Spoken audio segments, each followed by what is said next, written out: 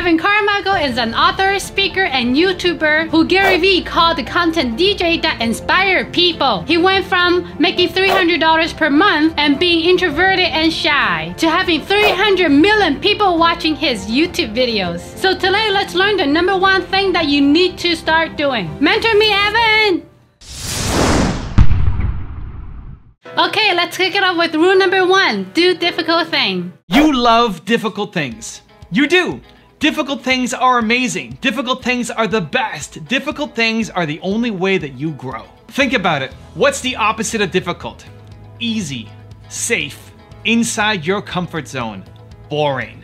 The single greatest thing that you can ever do for your confidence is teach yourself that when things get difficult, you don't shrink down, you rise to the occasion. So in my keynote presentations, I used to always use slides as well. I had PowerPoint up and, and I wouldn't read the text off of the slides, but I have a picture and I tell a story about it and it would always keep me focused on where my presentation was going. And then I got offered to do a speaking gig in Paris. I was the keynote speech at this big event for this software company and I was gonna close the show for them. And I had this idea in my head that what if I didn't do slides? What if I spoke on stage for, I forget how long, 45 minutes to an hour, closing keynote, and I just had one slide, and it was a picture of a rabbit because I was telling a story about trying to teach a rabbit to climb a tree. And it scared me. I thought it's difficult. And because that's what I thought, then I had to do it. Because in my head is, well, what if I don't remember where I go? What if I forget the stories? What if I lose track of where I'm at and I'm sitting here on stage, the closing keynote, been paid all this money to come, and I just suck? and because that was the reason, then I had to do it. I had to do it. And so I said, I'm just gonna have one slide. And when the tech team said, hey, what do you want to show on screen? Here it is. It's just one slide. Yep. No videos. Nope. No audio. Nope. One slide. That's it. Put that up. And I practice and I practice and I practice. And, and because my greatest fear in the world is disappointing people, I probably over practice and had my speech down. And I went and, and crushed it.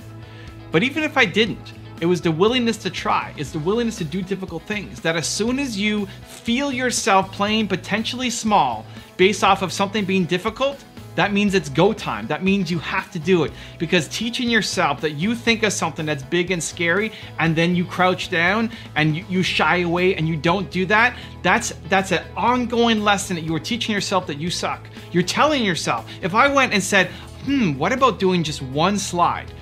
In France, right? For my Paris keynote. What if it's just one slide and I'm scared of it and I don't do it? I'm teaching myself that I suck.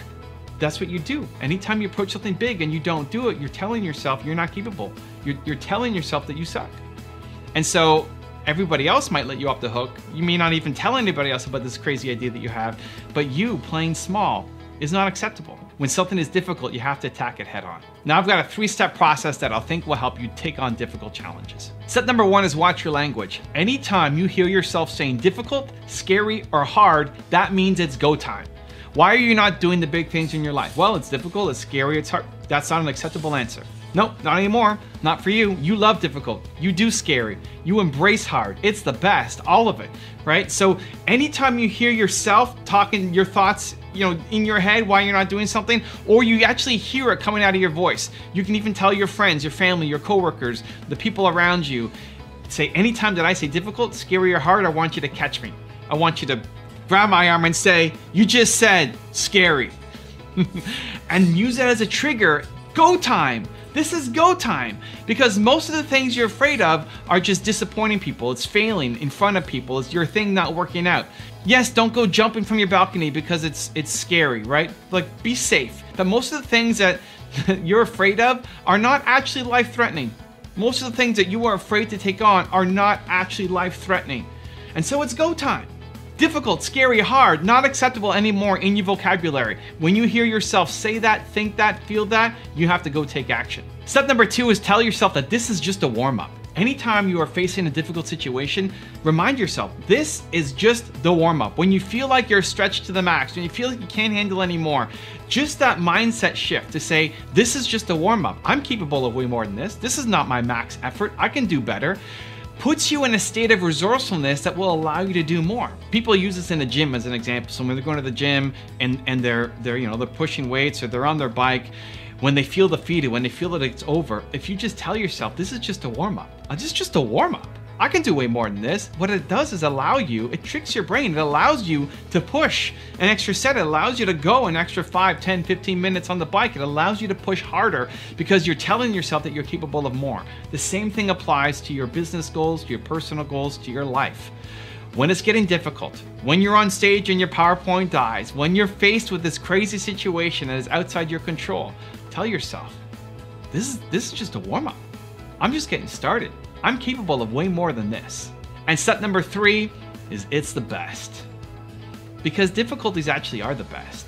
Because that thing that you're struggling with so much will become a story, will become the thing that you tie your identity to. Mel Robbins being on stage in our PowerPoint failing and then having to do five extra minutes without any power becomes a story. It becomes the best. The challenges that you go through become the best, become the path that you can then help other people through. Humans are built to serve. Well, how are you going to serve? You're going to serve the people who are facing the same difficulties that you faced.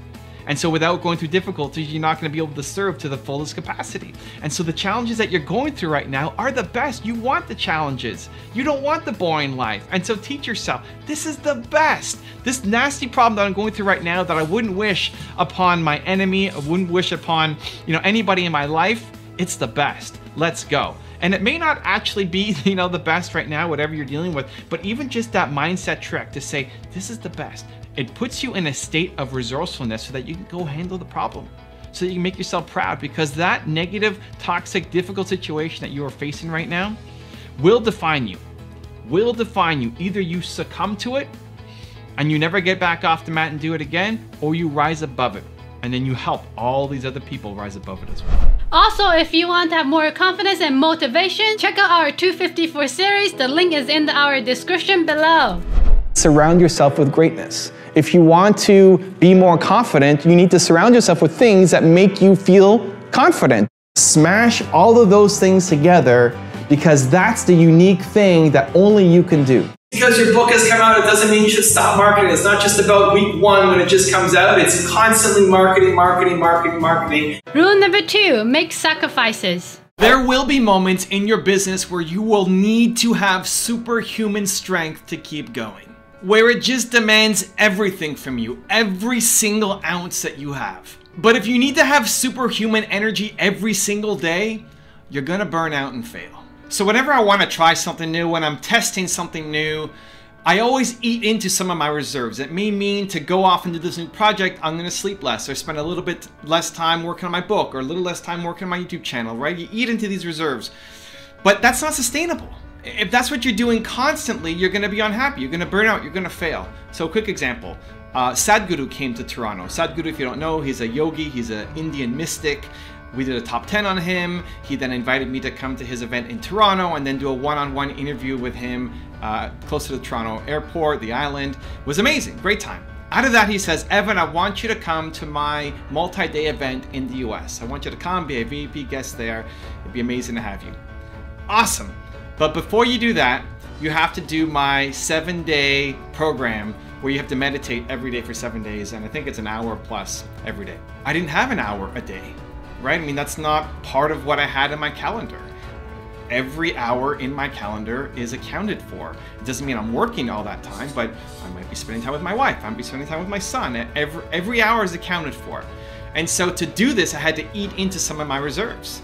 And so for that one, I asked Nina, I said, Nina, if you're going to come with me, you have to do this too. Do we want to spend our hour in the evening, instead of watching a show, instead of relaxing, to, to do this program for seven days for meditation? And she said, yes. And so here's the thing we did it for seven days and we went to the event. And it was awesome. If it was something that we were going to continue, if we were going to meditate every day for an hour ongoing, then I'd have to readjust my schedule. Your success comes from your habits. You need to figure out what a balanced life looks like for you. Now, ultimately, I don't meditate an hour every night. I do some healing meditation for my neck every morning, but that habit didn't stick, and that's okay. So when you're testing new habits, testing new ideas, testing something for your business, or some emergency comes up that you have to deal with, it's to tap into your reserves.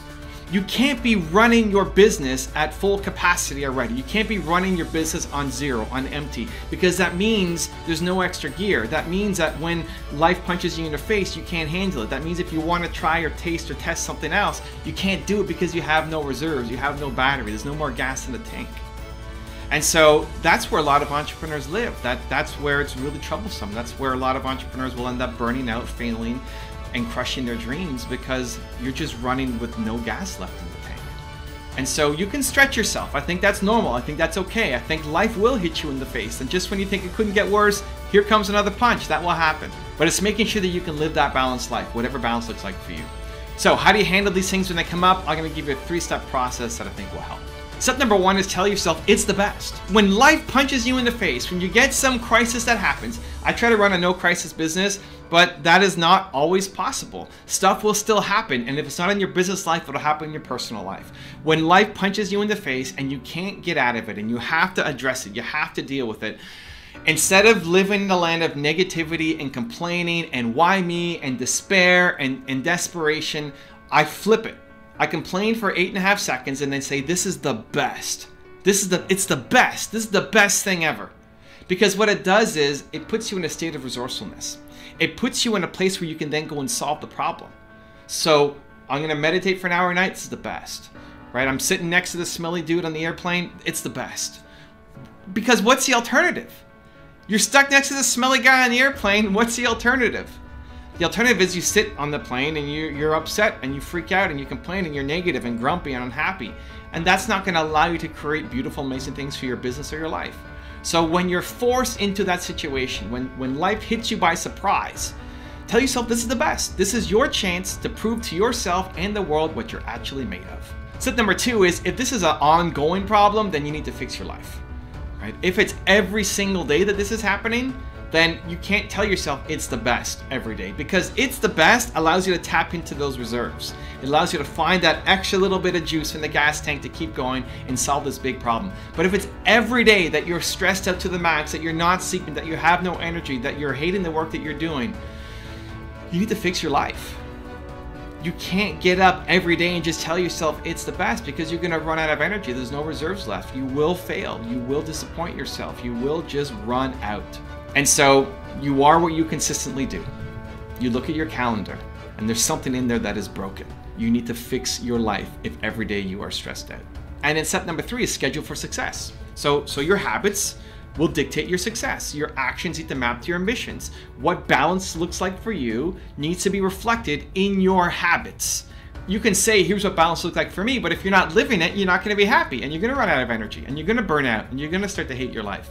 So, what does a balanced life look like for you? How much time do you want to spend with your family, with your significant other, on your business, on yourself, personal development, uh, working out, singing, hobbies, dancing, friends, whatever it is that you want to do. What does a balanced life for you look like? And this is something that only you can judge. What I do, what The Rock does, what Sadhguru does, what Dan Lok does, what anybody that we profile, whatever they do, what Elon Musk does. Don't compare yourself to Elon Musk and his schedule. You can use his schedule as guidance, as an idea, as here's something that somebody is doing that is possible but maybe that's not for you. You try on the hat and then you see. So you have to decide what does balance look like for you and then take out your calendar every day of the week from Sunday to the next Sunday and put everything in. Here's how much time I want to spend on these different activities. Because if you want balance and it looks like this, and then you look at your calendar and it's totally different, you're gonna run out of energy and not like your life schedule for success. And rule number three, the last one before a very special bonus clip, is expect the hard times. The difference between outstanding and average is what you do when it gets hard. People with an average mindset only do things when it's easy. Because it's easy, anyone can do it. But life is coming for you. Setbacks, they're coming for you. And that's what separates the average from the outstanding. Your goals, they don't count until it's hard. So I had a new guy on my team who was writing to me to say, Evan, it's super important, this is urgent, I need help with my schedule. I'm just not staying consistent, I'm not staying on my goals. I know what I wanna get done for you, but also for my life, and, and it's not, unless it's some deadline or you're on me, it's not happening. I'm not consistent on it. How do, how do I get going? How do I stay consistent? And so we worked together through the schedule and we created his calendar and said, what are your goals? And put it in your calendar and how do you want each day to go? And he, he plotted out his Saturday to Sunday, you know, the whole week. And then I asked him, okay, now put in your morning routine. What do you want to do every day? Right. So he, he plotted that into his calendar. Now he's got this weekly schedule of what he's going to do every morning and then every day doing different things and how he wants his ideal life to go. Awesome. And then I told them what really mattered. Like, this is great. Your actions map to your ambitions. It's really important. But following through on your calendar doesn't count until it's hard. Maybe maybe today is gonna be easy for you. Maybe tomorrow's easy for you because we talked, because you're motivated, because you're inspired. It's like, yeah, yeah, yeah, I'm gonna go do it. Awesome. What happens when you don't sleep well? What happens when something happens in your family? What happens when the website crashes? What happens when something happens? What happens when you've lost some motivation, energy? What happens when you get some bad news? What happens? What do you do? This is where most people crumble. This is where most people, as soon as there's one little tiny thing that interrupts them, they're gone. They, they fall off their entire schedule and routine. Your goals suddenly don't matter anymore. You don't think they're possible. Your goals don't count until they're hard. That's what I told them. I said, listen, listen to me. This is a great plan. That life that you wrote, that's a great life. What you wrote down on your calendar, that's a great life for you. That's what you want. Imagine if you did that every day for the next year. How different would your life look like one year from today if you were consistent on staying like, oh yeah, yeah, amazing, I mean, great. Doesn't count until it's hard. None of this matters until it's hard. Life is coming for you. Get ready. And what I want him and I want you to realize is that you need to expect it because you're working your calendar and it's great and here we go we're getting our hitting our objectives and going for our goals and then when something hits us in the face you're surprised by it. You're shocked and then you fall off course. Don't be surprised. Expect it. Expect the difficulty. Expect the road bump. Expect somebody to punch you in the face. Like expect it. It's coming. And this is your chance to be outstanding because everybody else is going to be average now we got a very special bonus clip that I think you're gonna love. But before that, if you're still watching, we want to celebrate you. If you promise to take action after watching this video, give a hashtag believe in the comment below. We want to celebrate you. Paul Newman, the legendary actor, had an amazing quote that I love to repeat. He said, I check my pulse, and if I can find it, I know I've got a chance. You've got a very important choice to make. You either make the rest of your life the best of your life, or you settle for what is and live in your excuses. So you know why I would give up? You know what I'm deeply afraid of? I've got two. I've got a short-term fear and a long-term fear. My short-term fear is of disappointing people. My biggest short-term in the moment fear is disappointing people. That I would show up to an event and let people down, that I wouldn't give them value, that people would come and waste their time, spend their money, and I didn't give them value. I, I'm deeply afraid of it and still am. I put pressure on these videos. I want these videos to be great. Every time I get in front of this camera and start making a video, I put pressure on myself that this needs to be the best video that I've ever done. I want to not disappoint you guys every single time. And this little pause, hesitation before filming, and I'll, I'll spend a couple minutes procrastinating because I'm, I'm afraid. I'm afraid of disappointing you and making a crappy video. I'll procrastinate and then I'll do it and I'll feel great doing it. But my biggest short-term fear is disappointing people. My biggest long-term fear is of regret. Is that I won't live my life. Is that I'll look back and say I could have done more. I, I should have pushed harder. Because you rarely regret the things that you did, it's the things that you didn't do, the things you were too afraid to do, the actions not taken. That's what you normally regret. And so my biggest short-term fear is disappointing people, my biggest long-term fear is fear of regret, and those things, they fight each other. Right? They fight each other because if I'm afraid of disappointing somebody, I'm not going to take the action that I should be taking, and then I'm going to regret it later on.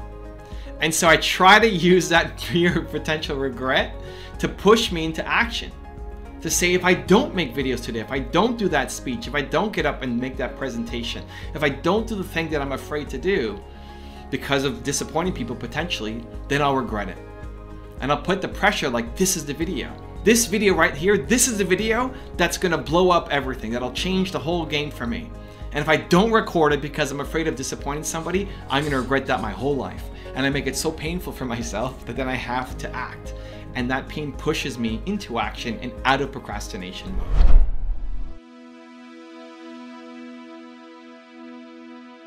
If you want to learn how to become the best version of yourself, must check out the video next to me. I think you're gonna enjoy. Much love, Bali. I'll see you there. I think everybody has Michael Jordan level talent at something. You could be the Michael Jordan of something.